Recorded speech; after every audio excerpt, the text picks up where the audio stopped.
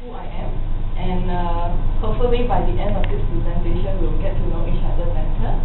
Okay?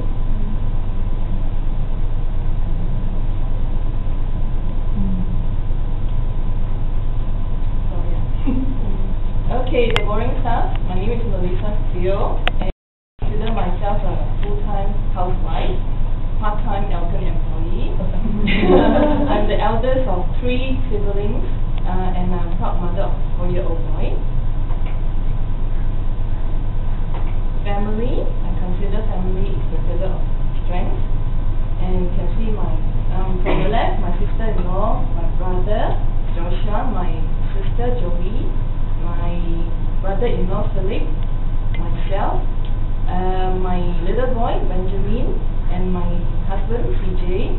Also, you can see, um, can you see the two little boy in front, Ernest.